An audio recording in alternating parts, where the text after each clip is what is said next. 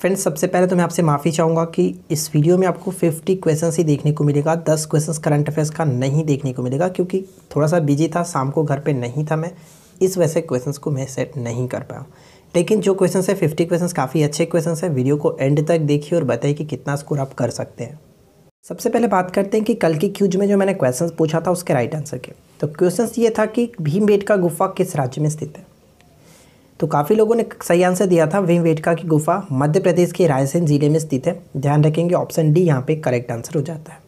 सबसे पहला क्वेश्चन ये कि अकबर के शासन में महाभारत का फारसी भाषा में अनुवाद किया गया था। वह किस नाम से जाना जाता है? तो महाभारत का फारसी में अनुवाद जो किया गया था, आपको बता दूँ कि अकबर के आदेश पर बदायूनी ने किया था, रजनामा के नाम से ऑप्शन बी को टिक करेंगे। सेकेंड क्वेश्चन ये कि पर्वतों के पदों, यानी कि फुट हिल्स अर्थात किसी पर्वत के सहारे स्थित पठार को कहा जाता है। Right answer will be option b पर्वत पदीय पठार कहते हैं। इसी को एक और नाम से जाना था, गिरिपाद प्रदेश, ठीक है? तो ध्यान रखेंगे। थर्ड क्वेश्चन ये कि पारिस्थितिकी संतुलन बनाए रखने के लिए न्यूनतम वन आवरण अनिवार्य है। न्यूनतम वन आवरण अनिवार्य है। Right answer will be option d संपूर्ण भूमि का तैतीस प्रतिशत। ऑप्शन डी को टिक करेंगे। फोर्थ क्वेश्चन ये कि भारत में किस वर्ष पर्यावरण संरक्षण अधिनियम पारित किया गया था? ये क्वेश्चंस बहुत ज़्यादा इंपॉर्टेंट है सुपर से भी ज़्यादा सुपर कहिए पर्यावरण संरक्षण अधिनियम कब पारित किया गया था? अगर यहाँ पे थोड़ी सी भी अगर आप गलती करते हैं तो डेफिनेटली फ्रेंड्स बहुत बड़ी लापरवाही होगी, ध्यान दीजिएगा। इस क्वेश्चन का तो सही आंसर ऑप्शन डी है। उन्नीस सौ छियासी, ठीक है? उन्नीस सौ छियासी में पर्यावरण संरक्षण अधिनियम पारित किया गया था। अगर जिन लोगों ने उन्नीस सौ बहत्तर को टिक किया तो मैं आपको बता दूँ कि उन्नीस सौ बहत्तर में वन्य जीव संरक्षण अधिनियम था, ठीक है? और अगर हम यहाँ पे बात करें 1980 तो 1980 में वन संरक्षण अधिनियम था। ये मैंने आपको एक बार पहले भी ट्रिक के माध्यम से याद कराया था। अगर आप हमारे रेगुलर व्यूवर हैं तो आपको ये चीज़ पता होगा। चलिए नेक्स्ट क्वेश्चन ये कि नीलगिरी पहाड़ियों में पेड़ की सामान्य जाति है। नीलगिरी पहाड़ियों में पेड़ की सामान्य जाति है। ऑप्शन डी, टोंक या फिर सगौन कह सकते हैं। ऑप्शन डी को ठीक करेंगे। नेक्स्ट वन की निम्नलिखित में से कौन उष्ण कटिबंधीय घास का मैदान के अंतर्गत नहीं आता? उष्ण कटिबंधीय घास के मैदान के अंतर्गत कौन नहीं आता? है तो ध्यान दीजिएगा, यहाँ पे सही आंसर हमारा होगा डाउन्स। डाउन्स जो आता है, वो शीतोष्ण घास के मैदान के अंतर्गत आता है। हम यहाँ पे पढ़ सकते हैं कि शीतोष्ण कटिबंधीय घास के मैदान के अंतर्गत prairie pampas, veld, downs, steppe, ये आते हैं। प्रेरी जो है वो कहाँ का है आपको पता है? प्रेरी जो होता है वो अमेरिका और कनाडा के होता है। पंपास जो होता है, कह सकते हैं अर्जेंटीना, वेल्ड जो होता है ये अफ्रीका का है, ठीक है? शीतोष्ण घास डाउन्स ऑस्ट्रेलिया का और स्टेपीज यूरेशिया कह सकते हैं, ठीक है ना? चलिए, नेक्स्ट क्वेश्चन क्या है कि उष्ण कटिबंधीय आर्द्र पतझड़ वन के संबंध में निम्नलिखित में से कौन सा कथन सही है? तो बताइए कि निम्नलिखित में से कौन सा कथन सही है? पहला पॉइंट्स कह रहा है कि डेढ़ सौ सेंटीमीटर से कम वर्षा कम वर्षा प्राप्त करने वाले वन पाए जाते हैं। बिल्कुल सही। उदाहरण के तौर पर अगर हम बात करें तो साल, सगौन, बाँस आदि इसके अंतर्गत आते हैं। तो दोनों के दोनों यहाँ पे बिल्कुल सही है, इसलिए राइट आंसर ऑप्शन सी को टिक करेंगे। दोनों एक और दो नेक्स्ट क्वेश्चन बनता है कि संसार में सबसे बड़ा महाद्वीप है। संसार में सबसे बड़ा महाद्वीप है। ऑप्शन सी यहाँ पे करेक्ट आंसर होगा। एशिया जो महाद्वीप है, सबसे बड़ा महाद्वीप माना जाता है। और यहाँ पे एक छोटा सा पॉइंट हम पढ़ सकते हैं कि एशिया या फिर जम्बू द्वीप आकार और जनसंख्या दोनों की दृष्टि में विश्व का सबसे बड़ा महाद्वीप माना जाता है। ठीक है, आकार में और जनसंख्या में आपको पता है कि चीन सबसे ज़्यादा जनसंख्या में तो वो भी एशिया महाद्वीप का ही एक हिस्सा है। और अगर हम बात करें एशिया महाद्वीप किस गोलार्ध में स्थित है तो एशिया महाद्वीप पूर्वी गोलार्ध, उत्तर पूर्वी गोलार्ध में स्थित है। और यहाँ पे हम पढ़ सकते हैं कि पश्चिम में इसकी सीमा यूरोप से मिलती है। हालाँकि इन दोनों के बीच कोई सर्वमान्य या फिर स्पष्ट सीमा निर्धारित नहीं है। एशिया और यूरोप को मिलाकर के कभी कभी यूरेशिया भी कहा जाता है, ये पॉइंट याद रखिएगा। चलिए, नेक्स्ट वन क्या है कि एशिया महाद्वीप में स्थित प्रमुख प्रायद्वीप कौन से हैं? एशिया महाद्वीप में स्थित प्रमुख प्रायद्वीप कौन से? तो यहाँ पे हमारा करेक्ट आंसर होगा उपयुक्त सभी, उपरोक्त सभी को टिक करेंगे। अरब का प्रायद्वीप, ढक्कन का प्रायद्वीप और इंडो चीन का प्रायद्वीप, ये तीनों के तीनों एशिया महाद्वीप में प्रमुख प्रांत है। प्रांत नहीं प्रायद्वीप है, ठीक है? नेक्स्ट वन है कि विश्व का सबसे बड़ा प्रायद्वीप निम्नलिखित में से कौन सा है? विश्व का सबसे बड़ा प्रायद्वीप निम्नलिखित में से कौन सा है? वीडियो अच्छी लग रही है तो वीडियो को एक लाइक ज़रूर कर दीजिएगा फ्रेंड्स क्योंकि आपका एक लाइक हमें बहुत मोटिवेट करता है इस तरह की वीडियो बनाने के लिए, लेकिन सिर्फ़ और सिर्फ़ वीडियो देख करके चले जाने से हमें बहुत बुरा लगता है। शायद आप इस बात को नहीं समझ पाएँगे। विश्व का सबसे बड़ा प्रायद्वीप कौन सा है? तो यहाँ पे हमारा सही आंसर होगा, अरब का प्रायद्वीप, जो विश्व का सबसे बड़ा प्रायद्वीप माना जाता है, याद रखिएगा। नेक्स्ट वन क्या कह रहा है कि अकबर के शासनकाल में भू राजस्व सुधार के लिए कौन उत्तरदायी था? अकबर के शासनकाल में भू राजस्व सुधार के लिए कौन उत्तरदायी था? राजा टोडरमल। ठीक है, टोडरमल को हम जानते हैं बी को टिक करेंगे।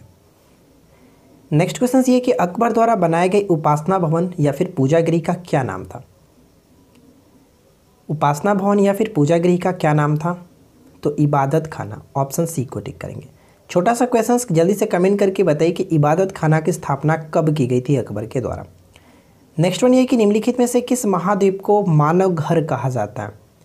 किस महाद्वीप को मानव घर कहा जाता है? तो एशिया महाद्वीप को मानव घर के नाम से जानते हैं ए को टिक करेंगे। नेक्स्ट वन है कि निम्नलिखित में से कौन सा क्षेत्र भारत के सकल घरेलू उत्पाद, यानी कि जीडीपी को सर्वाधिक योगदान देता है? सर्वाधिक जो योगदान देता है वो कौन सा क्षेत्र है? तो तृतीय क्षेत्र, ऑप्शन सी को टिक करेंगे और ध्यान रखिएगा तृतीय क्षेत्र को सेवा क्षेत्र के नाम से भी जाना जाता है। राष्ट्रीय विकास परिषद का गठन किस वर्ष किया गया था? ये क्वेश्चंस भी बहुत ज़्यादा इंपॉर्टेंट है।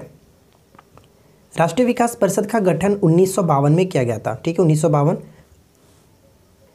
एक चीज़ और ध्यान रखेंगे फ्रेंड्स कि जो राष्ट्रीय विकास परिषद इसके अध्यक्ष कौन होते हैं? प्रधानमंत्री इसके अध्यक्ष होते हैं। ये क्वेश्चन भी पूछा गया। चलया समिति का संबंध किससे है? चलया समिति का संबंध किससे है? तो ध्यान रखेंगे, चलया समिति का संबंध प्रत्यक्ष एवं अप्रत्यक्ष कर प्रणाली में सुधार से संबंधित है। ए को टिक करेंगे। नेक्स्ट क्वेश्चन बनता है कि कौन सी संस्था भारत में राजकोषीय नीति तैयार करती है? कौन सी संस्थान भारत में राजकोषीय नीति को तैयार करती है। वित्त मंत्रालय जो है वो राजकोषीय नीति को तैयार करता है ए को टिक करेंगे। नेक्स्ट क्वेश्चन बनता है कि किस युद्ध में बाबर ने जिहाद का नारा दिया? तमगा नामक कर को समाप्त किया, युद्ध जीतने के उपरांत गाजी की उपाधि धारण की। Right answer will be option a Khanwa का युद्ध। ठीक है, खानवा का युद्ध ऑप्शन ए को टिक करेंगे, जो कि बाबर और राणा संघा के मध्य हुआ था, और इसी युद्ध में विजय के उपरांत इसने गाजी की उपाधि धारण की थी। ठीक है? नेक्स्ट क्वेश्चन की निम्नलिखित कथनों पर विचार कीजिए। फ़र्स्ट और सेकेंड पॉइंट को पढ़िए और बताइए उपरोक्त में से कौन सा कथन सही है। तो यहाँ पे देखिए, अगर हम बात करें फ़र्स्ट पॉइंट की तो संविधान के अनुच्छेद अट्ठासी के, अट्ठासी में भारत के महान्यायवादी के संबंध में बात कही गई है। ये पॉइंट गलत है। भारत के महान्यायवादी के संबंध में बात आर्टिकल सेवेंटी सिक्स में कही गई है। ठीक है? ये पॉइंट गलत हो जाता है। महान्यायवादी की नियुक्ति राष्ट्रपति के द्वारा की जाती है, ये पॉइंट बिल्कुल सही है। तो फ़र्स्ट गलत है सेकंड सही है, इसलिए ऑप्शन हम बी को टिक करेंगे। Option b will be correct answer ठीक है ना? नेक्स्ट क्वेश्चन ये कह रहा है कि निम्नलिखित में वह व्यक्ति कौन है जो संसद सदस्य नहीं होता है, लेकिन जिसे संसद को संबोधित करने का अधिकार है। तो देखिए इस क्वेश्चन का राइट आंसर क्या है। आपने आर्टिकल ऊपर में 88 देखा था, और यही है आर्टिकल 88 कि भारत का अटॉर्नी जनरल को संसद का सदस्य नहीं होता है, लेकिन उसे अधिकार देता है। कि वो संसद को संबोधित कर सकता है, लेकिन मतदान करने का अधिकार इनको नहीं होता, ठीक है? नेक्स्ट क्वेश्चन की, सदस्य न होते हुए भी निम्नलिखित में से संसद के किसी भी सदन की कार्यवाही में हिस्सा ले सकता है, लेकिन मत देने का अधिकार के बिना, ठीक है? मत देने का अधिकार नहीं होता। तो कौन? जस्ट हम लोगों ने ऊपर में देखा, वही बात है यहाँ पर महान्यायवादी। ऑप्शन डी को टिक करेंगे। नेक्स्ट क्वेश्चन ये कह रहा है कि संविधान के किस अनुच्छेद के अंतर्गत नागालैंड राज्य के संबंध में विशेष उपबंधों का प्रावधान किया गया? विशेष उपबंधों का प्रावधान किया गया। तो यहाँ पे हमारा सही आंसर हो जाता है अनुच्छेद तीन सौ इकहत्तर के क। नागालैंड के राज्य से संबंधित तीन सौ इकहत्तर के क। देखिए नेक्स्ट क्वेश्चन क्या है कि पौधे में होने वाली क्रियाओं में से एक जो इनका तापमान कम कर सकती है, होती है। उसको हम लोग क्या कहते हैं क्या कहते हैं? वाष्पोत्सर्जन। ठीक है, वाष्पोत्सर्जन ऑप्शन बी को टिक करेंगे। नेक्स्ट क्वेश्चन की किस क्रिया के फलस्वरूप पौधों में ऑक्सीजन का निकास एक कार्बन डाइऑक्साइड का अवशोषण होता है। सॉरी यहाँ पे एवं होगा। एवं कार्बन डाइऑक्साइड का अवशोषण होता है किस क्रिया के द्वारा? तो पौधे कार्बन डाइऑक्साइड को ग्रहण करते ऑक्सीजन को रिलीज़ करते हैं प्रकाश संश्लेषण के माध्यम से। ऑप्शन ए को टिक करेंगे। नेक्स्ट क्वेश्चन ये कि मुंबईयान नामक पद शैली के जन्मदाता बाबर ने अपनी आत्मकथा तुझे के बाबरी किस भाषा में लिखी थी? तो ध्यान रखिएगा, बाबर ने अपनी आत्मकथा खुद से लिखी थी, तुजा के बाबरी नाम से, और ये किस भाषा में लिखी गई थी? तुर्की भाषा में ऑप्शन हम सी को टिक करेंगे। कभी कभी क्वेश्चन पूछ जाता है कि मुंबईयान नामक पद शैली का जन्मदाता कौन है? तो बाबर है, ये चीज़ ध्यान रखिएगा। नेक्स्ट क्वेश्चन है कि संविधान के किस अनुच्छेद के प्रावधानों के अंतर्गत भारत सरकार द्वारा भारत रत्न पद्म विभूषण आदि अलंकरण प्रदान किए जाते हैं? किस आर्टिकल के तहत? और ये आर्टिकल हो जाता है अट्ठारह। ऑप्शन हम बी को टिक करेंगे अट्ठारह, ठीक है? नेक्स्ट वन देखिए क्या है कि निम्न में से कौन एक पादप हार्मोन है? निम्न में से कौन एक पादप हार्मोन है? तो यहाँ पे सही आंसर होगा साइटोकाइनिन एक प्रकार का पादप हार्मोन है ऑप्शन बी को टिक करेंगे। हम यहाँ पे पढ़ सकते हैं कि पादप हार्मोन जिन्हें फाइटो हार्मोन भी कहते हैं, रसायन होते हैं जो पौधे के विकास को विनियमित करते हैं। पौधे में मुख्यतः पाँच प्रकार के हार्मोन पाए जाते हैं, ऑक्सीन, जिब्रेलिन, अम्ल, साइटोकाइनिन, इथाइलिन और यहाँ पे पढ़ सकते हैं एस बेसिकम ठीक है? साइटोकाइनिन हार्मोन की खोज मिलर ने 1955 में की थी और इसका प्रमुख कार्य कोशिका विभाजन को प्रेरित करना है। नेक्स्ट क्वेश्चन देखिए क्या है कि ऑक्सीन से संबंधित कौन सा कथन सही है? तो जल्दी से कमेंट कीजिए कि ऑक्सीन से संबंधित कौन सा कथन यहाँ पे सही है।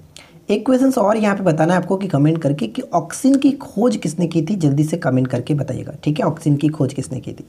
तो देखिए, अगर हम बात करें यहाँ पे संबंधित कौन सा कथन सही है तो इसके कारण पौधों में शीर्ष प्रमुखता हो जाती है यह पत्तियों का विगलन रोकता है, और यह खरपतवार को नष्ट करता है। उपरोक्त सभी, यानी ऑप्शन हम डी को यहाँ पे टिक करेंगे, ठीक है? चलिए नेक्स्ट क्वेश्चन क्या कह रहा है कि निम्नलिखित में से कौन सा हार्मोन पादप कोशिकाओं को इस प्रकार बढ़ने के लिए प्रेरित करता है, जिससे पादप की ओर मुड़ा हुआ प्रतीत होता है? तो इस क्वेश्चन का सही आंसर हो जाता है ऑक्सीन ठीक है? ऑप्शन बी को टिक करेंगे ऑक्सीन नेक्स्ट क्वेश्चन है कि निम्नलिखित भारतीय शासकों में से अकबर के समकालीन कौन थे या फिर था? अकबर के समकालीन कौन थी या फिर था? रानी दुर्गावती ऑप्शन ए को टिक करेंगे, ठीक है? रानी दुर्गावती. नेक्स्ट क्वेश्चन की निम्नलिखित में से कौन सुमिलित नहीं है? तो बताइए कि निम्नलिखित में से कौन सुमिल नहीं है? तो देखिए, यहाँ पे हमारा सही आंसर क्या होगा? लॉर्ड करने वाली स्थायी बंदोबस्त बिल्कुल सही, लॉर्ड विलेज दी सहायक संधि प्रणाली बिल्कुल सही है। लॉर्ड हेस्टिंग्स की बात करें तो द्वितीय आंग्ल मराठा युद्ध, ये पॉइंट गलत है, क्योंकि द्वितीय आंग्ल मराठा युद्ध के समय लॉर्ड विलेजदी का शासन था, और लॉर्ड हेस्टिंग की बात करें तो तृतीय आंग्ल मराठा के साथ इनका संबंध कह सकते हैं, और लॉर्ड विलियम बेंटिंग अठारह सौ उनतीस का सत्रहवा रेगुलेशन, ये बिल्कुल सही है। तो यहाँ पे हमारा सही आंसर होगा ऑप्शन सी, जो कि सुमेलित नहीं है। नेक्स्ट क्वेश्चन की किस सिख गुरु ने विद्रोही राजकुमार खुसरो की सहायता धन एवं आशीर्वाद से की थी। ये क्वेश्चन भी कई बार एग्ज़ाम्स में रिपीट हुआ है, ध्यान रखिएगा। तो देखिए, यहाँ पे हमारा सही आंसर क्या हो जाता है? हम यहाँ पे ऑप्शन किसे टिक करेंगे? सी को। गुरु अर्जुन देव, ठीक है? गुरु अर्जुन देव बिल्कुल करेक्ट होगा। अच्छा मैं आपसे पूछूँ कि गुरु अर्जुन देव सिखों के कौन से नंबर के गुरु थे? जल्दी से कमेंट करके बताएँ, फिर मैं आपको बताता हूँ। गुरु अर्जुन देव सिखों के कौन से गुरु थे? जल्दी से कमेंट कीजिए। वीडियो को रोकिए और कमेंट कीजिए। तो अगर आपने वीडियो को रोक करके सही आंसर दे दिया तो बहुत बहुत शुक्रिया। मैं आपको बताता हूँ कि देखिए, गुरु अर्जुन देव सिखों के पाँचवें नंबर के गुरु थे। और कैसे याद रखना है? अर्जुन, यानी कि पाँच पांडवों में से एक थे। अर्जुन पाँच पांडवों में से एक थे, और इसलिए हम याद रख सकते हैं कि ये पाँचवें गुरु थे। नेक्स्ट क्वेश्चन क्या है? कि ब्रिटिश नागरिकों को सर्वप्रथम किस वर्ष भारत में भूमि खरीदने एवं बसने की अनुमति मिली थी? तो भारत में भूमि खरीदने और बसने की अनुमति कब मिली थी? यहाँ पे सही आंसर हमारा हो जाता है। ऑप्शन हम बी को टिक करेंगे। 1833 के चार्टर एक्ट के द्वारा ऑप्शन बी यहाँ पे सही आंसर हो जाता है। नेक्स्ट क्वेश्चन है कि संविधान सभा के उद्घाटन अधिवेशन की अध्यक्षता किसने की थी? संविधान सभा के उद्घाटन अधिवेशन, यानी कि 9 दिसंबर 1946 को जब पहला अधिवेशन हुआ था, उद्घाटन अधिवेशन तो इसकी अध्यक्षता किसके द्वारा की गई थी? तो उसमें जो सबसे वरिष्ठ जो नेता थे वो कौन थे? डॉक्टर सच्चिदानंद सिन्हा, और इन्होंने ही अध्यक्षता की थी। ऑप्शन हम बी को टिक करेंगे। नेक्स्ट क्वेश्चन क्या बनता है कि श्वेत प्रकाश का अपने विभिन्न रंगों से अलग होने की क्रिया को क्या कहते हैं? आपको पता है कि अगर हम प्रिज्म से होकर के श्वेत प्रकाश को गुजारे तो ये सात रंगों में विभक्त होता है। तो ये सात रंगों में अलग होने की जो प्रक्रिया होती है, इसको हम लोग वर्ण विक्षेपण कहते हैं। ऑप्शन हम डी को टिक करेंगे, वर्ण विक्षेपण। और मैं आपसे यहाँ पे पूछूँ कि सबसे अधिक किस रंग का विचरण होता है तो कितने लोग सही आंसर दे सकते हैं? किस रंग का विचलन सबसे अधिक होता है? तो जल्दी से बता दीजिएगा। चलिए नेक्स्ट क्वेश्चन क्या है कि उत्तर प्रदेश में होली के त्यौहार पर लठमार होली मनाई जाती है। बताइए, उत्तर प्रदेश में होली के त्यौहार पर लठमार होली मनाई जाती है कहाँ पे? तो यहाँ पे हमारा सही आंसर क्या होगा? ऑप्शन हम बी को टिक करेंगे। बरसाना में। और बरसाना कहाँ पे पड़ता है? तो ये मथुरा का एक डिस्ट्रिक्ट कह सकते हैं। मथुरा का, मथुरा जिला का एक शहर है सॉरी मथुरा जिला का एक शहर है बरसाना, ठीक है? नेक्स्ट क्वेश्चन की बुद्ध को प्रबोध कहाँ प्राप्त हुआ था? बुद्ध को प्रबोध जो है वो कहाँ पर प्राप्त हुआ था? प्रबोध का मतलब हो गया कि बुद्ध को ज्ञान कहाँ पर मिला था? तो बिहार के बोध गया में, ठीक है? बिहार के बोध गया में, ऑप्शन बी सही होगा। नेक्स्ट क्वेश्चन है कि शिवाजी महाराज को राजा की उपाधि किसने प्रदान की थी? शिवाजी महाराज को राजा की उपाधि किसने प्रदान की थी? तो देखिए, इस क्वेश्चन का राइट आंसर हो जाता है औरंगज़ेब। औरंगज़ेब ने ही शिवाजी को महारा सॉरी, राजा की उपाधि प्रदान की थी। सी को टिक करेंगे। नेक्स्ट वन की निम्नलिखित में से कौन सी जनजाति उत्तर प्रदेश और उत्तराखंड से संबंधित है? तो ध्यान रखिएगा, उत्तराखंड, उत्तर प्रदेश और नेपाल की तराई के साथ थारू जनजाति का संबंध है। यहाँ पे बी बिल्कुल सही आंसर हो जाता है। नेक्स्ट वन की निम्नलिखित में से कौन सा तट, पश्चिमी तट का भाग नहीं है? तो पश्चिमी तट का भाग नहीं है कौन सा? तो कोरोमंडल तट जो पूर्वी तट का भाग है, इसलिए हम ऑप्शन डी को टिक करेंगे, पश्चिमी तट का भाग नहीं है। देखिए नेक्स्ट क्वेश्चन क्या कह रहा है कि सुनहर निम्नलिखित में से किसको जोड़ती है? आप हमारे साथ रेगुलर यहाँ पे 8 पीएम में प्रैक्टिस कर सकते हैं इसी तरह के, ठीक है? चाहे कोई भी गवर्नमेंट एग्ज़ाम्स के प्रिपरेशन कर रहे हैं जीएस के लिए आप यहाँ पे जीके जीएस के लिए आप हमारे साथ प्रिपरेशन कर सकते हैं, ठीक है? तो सुनहर किसको किसको जोड़ता है? तो सुप्रियर झील और ह्यूरन ह्यूरोन झील को जोड़ता है ऑप्शन हम बी को टिक करेंगे। नेक्स्ट वन क्या है कि 2011 की जनगणना के अनुसार निम्नलिखित राज्यों में से किस एक का नगरीकरण स्तर न्यूनतम है? सबसे कम स्तरी नगरीकरण की बात करें तो किसका है? सबसे सबसे कम नगरीकरण वाला राज्य हम कह सकते हैं हिमाचल प्रदेश। और सबसे अधिक पूछा जाता है तो गोवा को टिक करते नेक्स्ट क्वेश्चन है कि सर्वोच्च न्यायालय के अधिकार क्षेत्र में वृद्धि करने का अधिकार किसके आ, किसे प्राप्त है? सर्वोच्च न्यायालय के अधिकार क्षेत्र में वृद्धि करने का अधिकार किसे प्राप्त है? संसद को सी को टिक करेंगे संसद को। नेक्स्ट वन देखिए क्या है कि यदि चौदह दिन के अंदर विधान परिषद वित्त विधेयक को नहीं लौटाती है, तब क्या होगा? चौदह दिन के अंदर विधान परिषद वित्त विधेयक को नहीं लौटाती है तो दोनों सदनों द्वारा पारित माना जाएगा। डी को टिक करेंगे, दोनों सदनों द्वारा पारित माना जाएगा। नेक्स्ट क्वेश्चन की, टेलीविज़न के दूरस्थ नियंत्रण के लिए किस प्रकार के विद्युत चुंबकीय विकिरण का उपयोग किया जाता है? सिंपल सी भाषा में कहें तो जो रिमोट होता है, उसमें रिमोट, जो टीवी का रिमोट होता है तो उसमें हम कह सकते हैं कि किस विद्युत चुंबकीय विकिरण का प्रयोग किया जाता है? तो उसमें इंफ्रारेड का यूज़ करते हैं, यानी अवरक्त किरण का यूज़ किया जाता है। ऑप्शन ए सही आंसर हो जाता है। नेक्स्ट वन की पेरियार अभ्यारण्य प्रसिद्ध है। बताइए कि पेरियार अभ्यारण्य प्रसिद्ध है किसके लिए? तो ध्यान रखिएगा पेरियार अभ्यारण्य जंगली हाथियों के लिए प्रसिद्ध है और पेरियार केरल में स्थित है। ऑप्शन हम यहाँ पे डी को टिक करेंगे। चलिए नेक्स्ट क्वेश्चन की। रेगिस्तान में पैदा होने वाले पौधे क्या कहलाते हैं? रेगिस्तान में पैदा होने वाले पौधे को हम लोग क्या कहते हैं? क्या होगा सही आंसर? रेगिस्तान में पैदा होने वाले पौधे को हम लोग जेरोफाइट्स कहते हैं ऑप्शन सी को टिक करेंगे जेरोफाइट्स नेक्स्ट क्वेश्चन क्या है कि तालाबों और कुओं में निम्न में से किस एक को छोड़ने से मच्छरों को नियंत्रित करने में मदद मिलती है? तो हम यहाँ पे कह सकते हैं गैम्बूसिया, ठीक है? गैम्बूसिया को टिक करेंगे ऑप्शन सी करेक्ट आंसर हो जाता है. दोस्तों, अगर आपने अभी तक इस वीडियो को लाइक नहीं किया तो यार मैं फिर से रिक्वेस्ट करता हूँ कि वीडियो को लाइक कर दीजिए और अपने दोस्तों के साथ शेयर कर दीजिए। तृतीय पंचवर्षीय योजना की कार्यनीति में सर्वाधिक बल किस क्षेत्र में विकास को दिया गया था? किस क्षेत्र के विकास को दिया गया था? तृतीय पंचवर्षीय योजना। तो right answer will be option a कृषि। ठीक है, कृषि को ध्यान रखिएगा ऑप्शन ए सही आंसर हो जाता है। नेक्स्ट क्वेश्चन ये कि भारत में लिग्नाइट कोयले का सर्वाधिक जमाव पाया जाता है। तो बताइए कि भारत में लिग्नाइट कोयले का सर्वाधिक जमाव पाया जाता है। ऑप्शन डी को टिक करेंगे तमिलनाडु, ठीक है? लिग्नाइट कोयले को भूरा कोयला के नाम से भी जाना जाता है। ये क्वेश्चन भी कई बार पूछा गया कि भूरा कोयला किसे कहते हैं? लिग्नाइट को भूरा कोयला कहा जाता है, ठीक है? तो ये थी हमारी आज की फिफ्टी क्वेश्चंस और एक बार फिर से मैं आपसे माफ़ी चाहूँगा कि दस क्वेश्चंस मैंने करंट अफेयर्स का इंक्लूड नहीं कर पाया। थोड़ा सा टाइम की वजह से, लेकिन आपका रेगुलर जो सिक्सटी क्वेश्चन चलता था, उसी तरह से चलेगा, ठीक है?